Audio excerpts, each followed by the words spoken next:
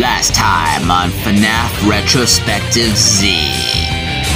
Bowser Jr. Fan 13 has covered the lore for Five Nights at Freddy's 4, as well as the backstory that's been going on behind William Afton and his family. William committed murder to Henry's daughter, Charlie, or Charlotte, whichever one you want to call her, and as well as having the loss of his son, Evan, because of the bite of 83, and Michael being a bad brother. Will William Afton be caught and arrested for his crimes? Will there be more victims to his killing spree? And what will happen to his daughter? Find out next time on FNAF Retrospective Z. Yeah, baby!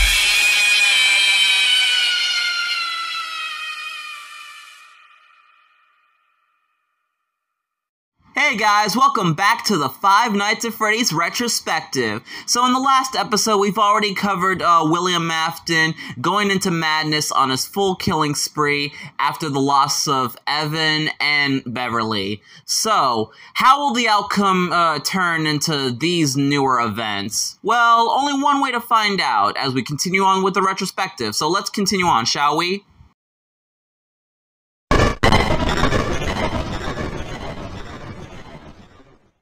Alright, so last episode we've already talked about how Fazbear Entertainment has shut down Fredbear's Family Diner due to the death of Evan and Charlotte, even though I don't think most people know about her death, considering that William did it uh, while nobody was looking.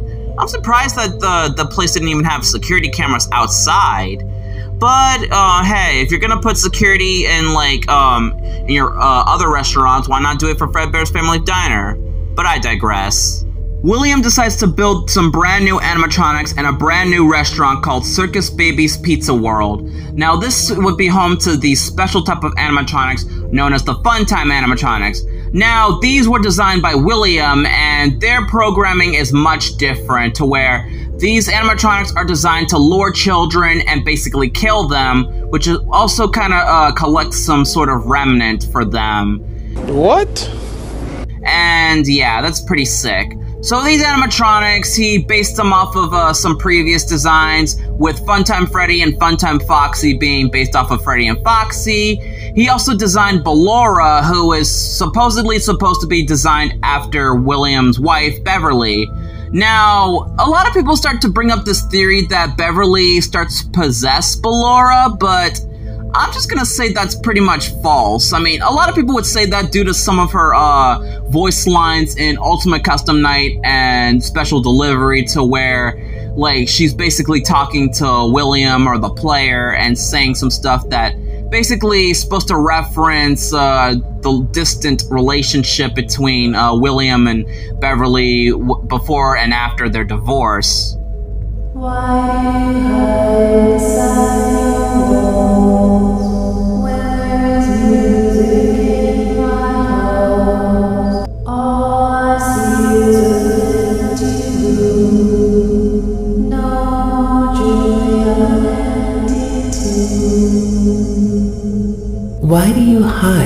Of these walls.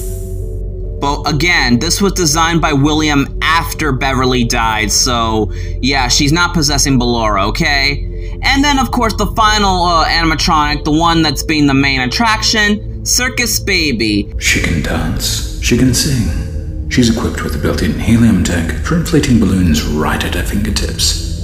She can take song requests. She can even dispense ice cream.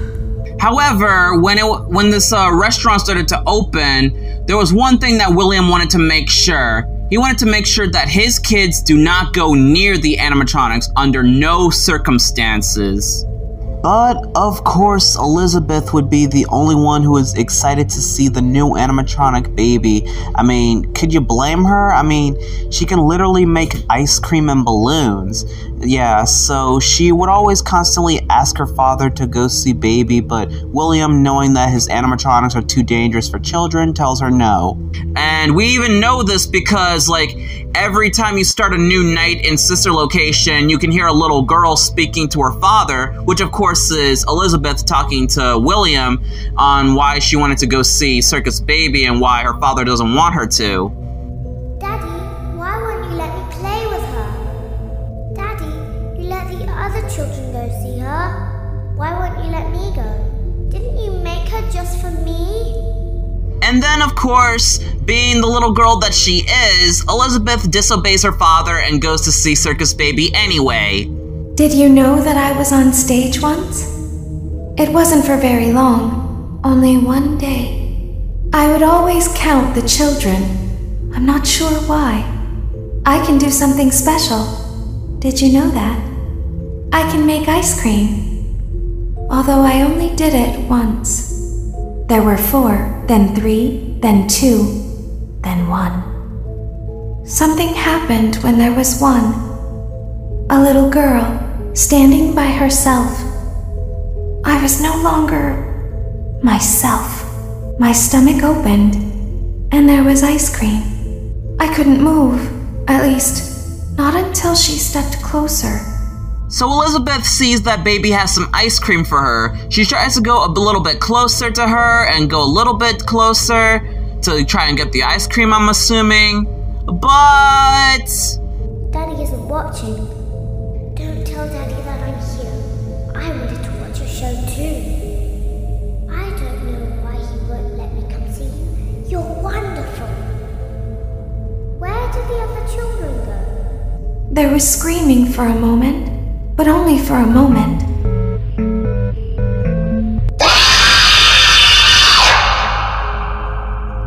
And now Elizabeth Afton is dead. Oh, but don't worry, she may be dead, but she's now officially going to possess Circus Baby. Because remember how I said in the last episode that Charlotte is possessing the puppet after she died? Well, is same thing is here for um, Elizabeth because we also know that she does possess Baby because you notice how in the minigame Baby's eyes were blue and Elizabeth's eyes were green. We also see in the trailer that that um, Baby's eyes turn green just like Elizabeth. So there's already enough proof for that. Then other children rushed in again, but they couldn't hear her over the sounds of their own excitement. I still hear her sometimes. Why did that happen? And with that being the case, of course, Circus Baby's Pizza World gets shut down because of the murder. But this place is not completely shut down because William, like, basically just took the animatronics and shoved them down the basement to, like, I don't know, torture them or to basically just leave them there and abandon them. And it's mostly just turned into now a, a rental service rather than a restaurant, so yeah. And now William's madness starts to continue because this is where things go a little bit crazy. So we cut to 1985 where Freddy Fazbear's Pizza is still doing great. So William decides to apply for a job at the place that he was, well, a co-founder and creator of. And Fazbear Entertainment decides to, well, Well, they decided to hire him because, I mean, he was one of the original owners of Fredbear's Family Diner, so why not? So he hired them for, like, uh, you know, to do maintenance on the animatronics and stuff, and William starts to do his little magic.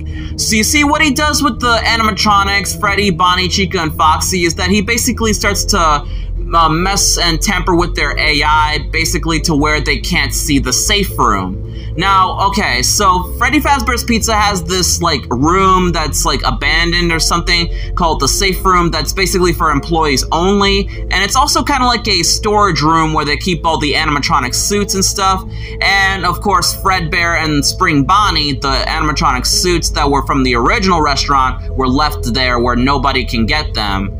And of course, because uh, Afton was messing with their uh, AI, he made it to where they can't see the uh, safe room and they can't acknowledge that the safe room is real because this is where Afton cannot get caught doing his little dirty tricks. In Five Nights at Freddy's 6, we get a mini game that's called um, Fruity Maze. And in this game, we play as a little girl named Susie. And now, the reason why I'm bringing this up is because Five Nights at Freddy's has these little mini games that also has some like hidden details and hidden lore hidden behind them. So, yeah. Anyways, uh, Susie was just a normal little girl who also had a dog. And then William Afton eventually hit the dog, and I think he started to kill it, and also stuffed it inside of a animatronic called uh, Funtime Foxy or Toy Foxy. Now, I know this also sounds a bit weird because Funtime Foxy is already, like, you know, stored away in the uh, Circus Baby's uh, rental and entertainment uh, basement. But I'm assuming that the one from Five Nights at Freddy's 2 that would eventually become Mangle would become like it's basically like a prototype version of Funtime Foxy. But anyways, yes, the dog is possessing Mangle because William killed it, and that and also because like we know that in the mini game when the dog died, it's missing an eye, so yeah, that could be a slight hint. So Susie being upset about her do dog being dead. We also see like a weird image of her being stalked by a man inside of a golden bunny suit, which of course is supposed to be the Spring Bonnie animatronic suit that he wears. And he basically used this suit to basically lure Susie into the safe room to where he could uh, show her her dog, only to get her killed in the process. Then, after William stuffed Susie's dead body inside of uh, Chica's animatronic suit, this is basically like to hide the dead bodies and all that stuff. She would also possess Chica the animatronic. We know this because, um, well, technically we do know this because um, in Ultimate Custom Night, Wither Chica uh, makes a statement that how um, she was one of the spirits that was like the first of William's victims. I was the first. I have And William did not stop at Susie because there were other victims that got caught by William and lured into the safe room as well. And there was basically four other children three boys named Gabriel, Jeremy, and Fritz, and a little girl named Cassidy. And this is basically where he kills them and stuff them inside of the other suits, where Gabriel would possess Freddy, Jeremy would possess Bonnie, uh, Fritz would possess Foxy, and Cassidy would possess uh, Fredbear, or Golden Freddy as it's now called. And not only is Golden Freddy possessed by Cassidy, it's also possessed by Evan, because you gotta remember, Golden Freddy was originally Fredbear, and he got killed uh, by the Bite of 83, so yeah. Okay, so I'm just gonna assume this right now. We don't know what happens to William afterwards, but I'm just gonna assume that the manager of Freddy Fazbear's Pizza started to know something a little strange with William, that he was probably tampering with the animatronics a little bit, and he was like not doing his job and being a little suspicious, to which they think that he's probably doing something a little weird, so they basically fire him and kick him out, but William doesn't seem to care. But then I know what some of you are thinking. Well, why didn't William get fired uh, from the missing children's incident, or why didn't he get arrested for his crimes? Well, according to uh, FNAF 3's phone calls or tape recorder um, training tapes, we learned that um, the safe room is invisible to cameras and animatronics, as I explained earlier. As always, if there is ever an emergency, please go to the designated safe room. Every location is built with one extra room that is not included in the digital map layouts programmed into the animatronic or security system. This room is hidden to customers, invisible to animatronics, and is always off camera. And another thing, the reason why William did not uh, get arrested, well, technically he kind of did um, after he got fired, but here's the problem. Because the safe room was invisible to security cameras, and because, well, the bodies were not found, like, nobody knows that William stuffed the children inside the suits to hide their bodies. So, because of this, he got off scot free. Huh? I know, that sounds ridiculous.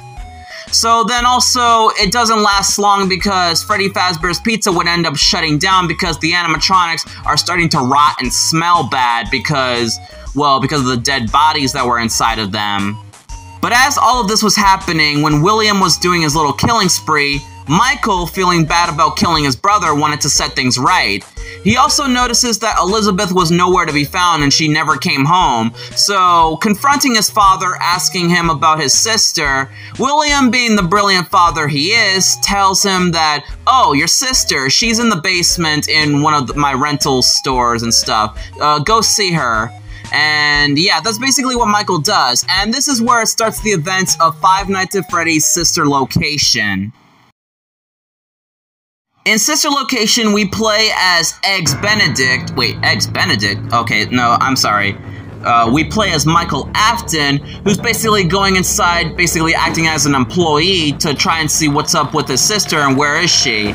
And apparently, he is confronted by the animatronics who come to life and basically try to haunt Michael, assuming that he's William and basically trying to kill him because I'm just gonna assume that the animatronics were mad because William stuffed them inside of these uh, basements and wanted nothing to do with them. So then, basically, Michael being scared and terrified, the only animatronic that doesn't come after him is Circus Baby, who starts to talk to him, and she doesn't seem to recognize him, even though she's possessed by Elizabeth. I don't recognize you. You are new. I remember this scenario, however. It's a strange thing to want to do, to come here. I'm curious what events would lead a person to want to spend their nights in a place like this. Willingly. Maybe curiosity, maybe ignorance. So Michael was not sure what the heck was going on and why Circus Baby was helping him and why exactly does um, all these things start to happen. So basically, uh, Michael decides that he's just gonna go with whatever is happening and basically he was just working his nights. And then eventually like as baby was talking with him he starts to slowly realize what his father was actually doing looking into his evil plans and saw his blueprints. And he noticed that his father is completely evil and he wants to stop his plans he also starts to realize that um, Baby is also his sister, so as he's trying to set things right, he tries to go and help her again, but on the final night, night 5, we get a special cutscene where if you follow Baby's instructions, this is where it's the end of Michael Afton.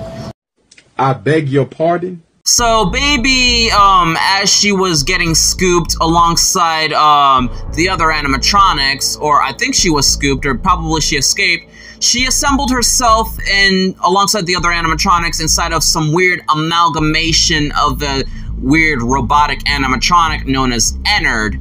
And Ennard was basically used as like this uh, device to basically lure Michael into the scooping room where he'll be confronted by the scooper.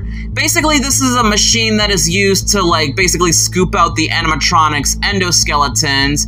And basically, Baby's plan was to lure Michael into the scooping room and to basically like uh, scoop his brains out in his intestines. To which it was successful and Michael dies. There's nowhere for us to hide here. There is nowhere to go when we look like this. But if we looked like you, then we could hide. If we looked like you, then we would have somewhere to go. The scooper only hurts for a moment.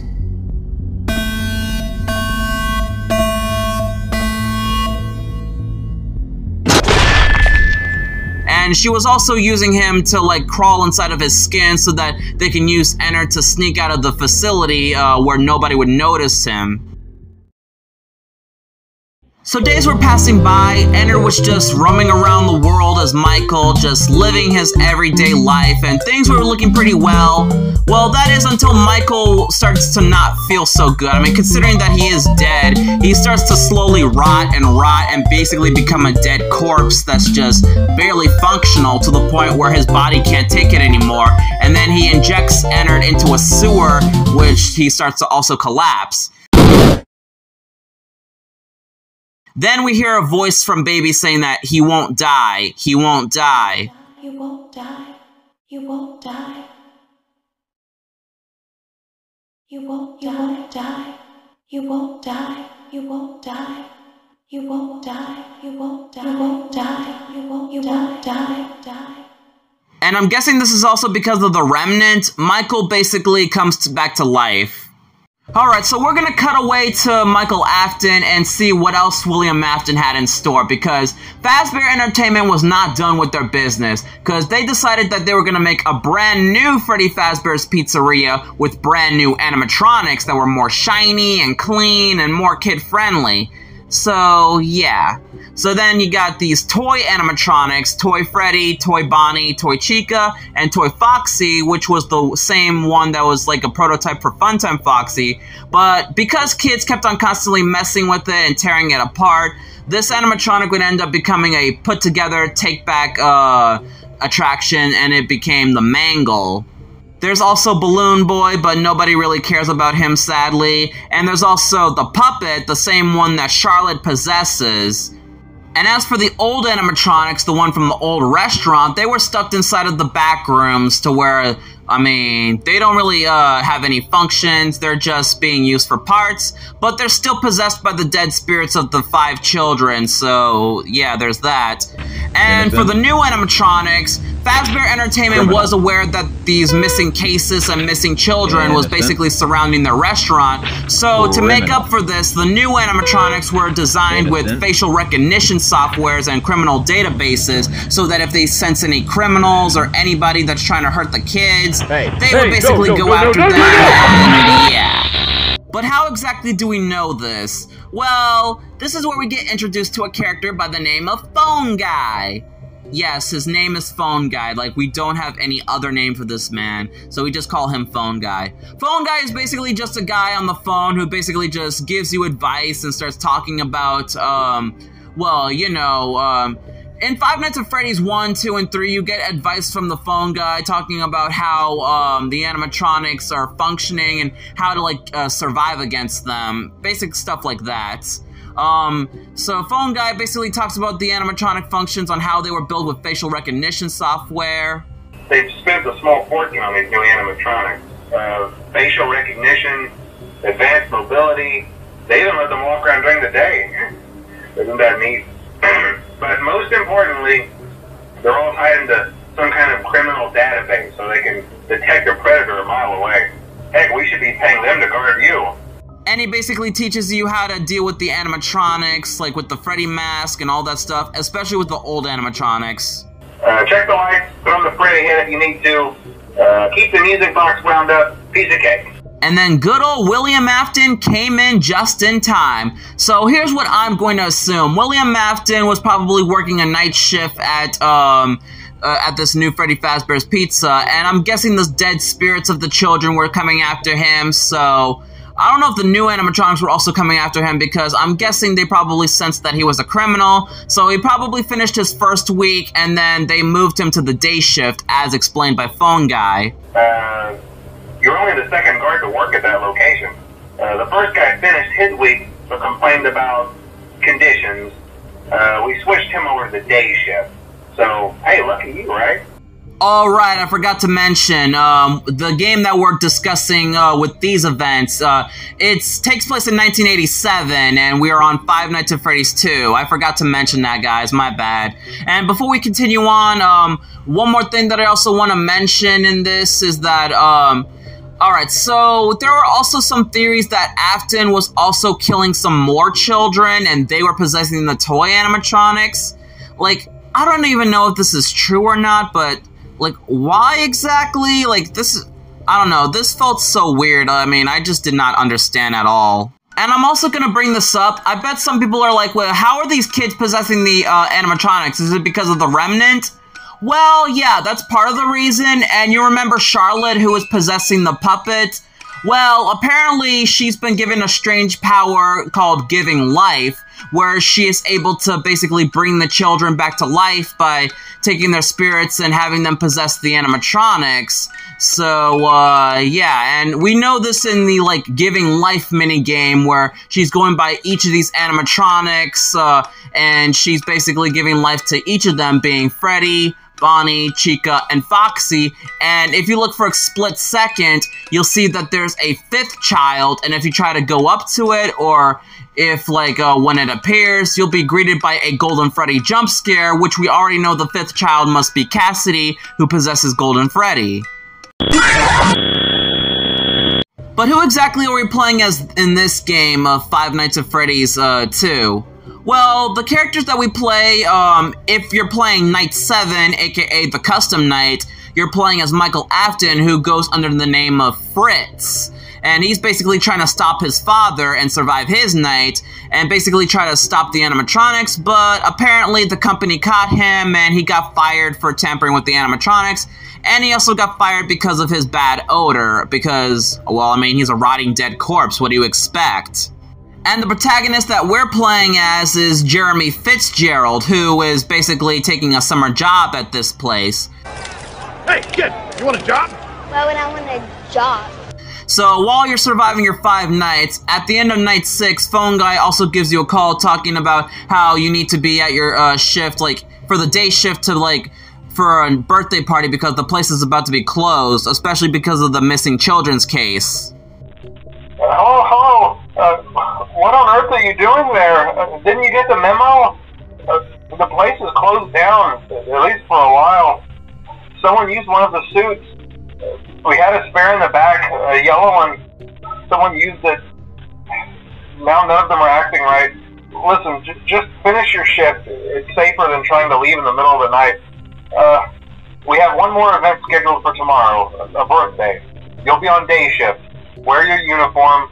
Stay close to the animatronics and make sure they don't hurt anyone, okay? Uh, for now, just make it through the night. Uh, when the place eventually opens again, I'll probably take the night shift myself. Okay, good night and good luck. So after all that's been going down, Jeremy's been guarding the animatronics and the children and basically doing his day shift after finishing his night shift. And he was basically at the birthday party doing what he's supposed to do. And then one of the animatronics started to malfunction and start to uh, basically attack Jeremy and bite him, literally causing the next biggest moment. Was that the bite of 87? Yes, that was the bite of 87 Markiplier. And now this is the theory that a lot of people keep on speculating. Who caused the bite of 87? We already know that Fredbear was the one who caused the bite of 83, but who would cause the bite of 87, especially during this birthday party, which would cause the place to shut down? Well, here's some guesses that and theories that a lot of people have been saying. Alright, so some people have been saying that one of the toy animatronics was responsible for this, and I've been starting to think about it. Um, let, let me just say this right now. I don't think Freddy would be the one that caused the bite of 87, or Toy Freddy to be more specific, because, well, I mean, if you look at his teeth, they don't look as sharp or sharp enough to, like, bite off a person's uh, face or something like that. Same thing with Toy Bonnie. His teeth is not even that sharp. Toy Chica, I mean, her teeth are not sharp, and even if you look at her design when she takes off her mask and she has those black eyes and uh, teeth design that I don't know why some people get horny off of that. You guys are freaking weird. Nah, her teeth are not strong enough to bite Jeremy's head, and it's definitely not Balloon Boy because he does not attack you in the um, in the nights when you're uh, playing through the game.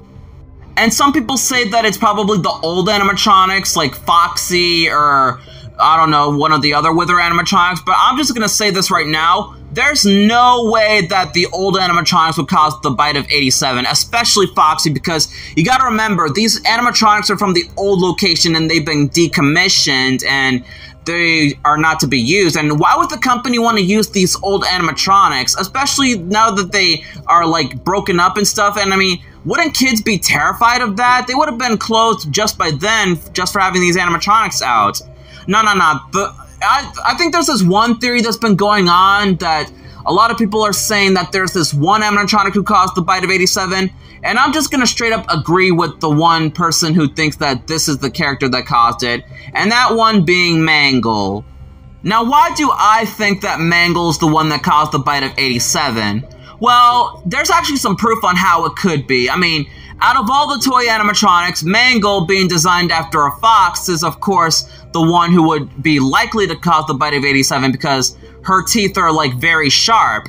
And not only that, I'm guessing because of like William uh, messing with her facial recognition, or because uh, she's also possessed by the dead dog that uh, was owned by Susie, and also um, because, well, the children kept on messing with um, her body parts and why it became a take apart, put back together attraction, which I'm assuming that she probably became irritated at. This almost makes us yearn for the days of the Kids Cove.